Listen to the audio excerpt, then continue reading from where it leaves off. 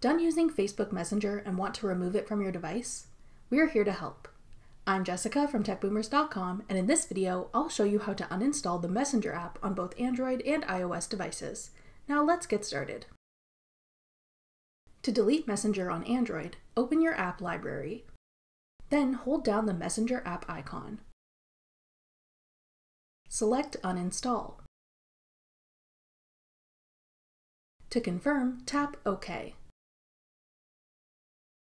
Messenger and all its data will then be deleted from your Android device. To delete Messenger on iPhone or iPad, hold down the app icon on your home screen.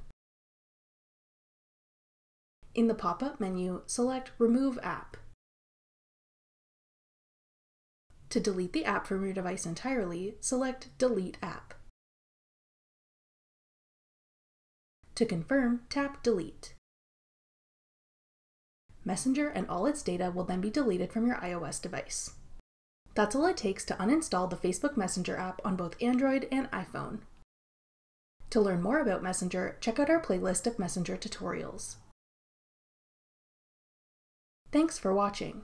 If you found this video helpful, we'd love it if you'd hit the thumbs up button below and subscribe to our channel. We put out great new tech tutorials like this one every week.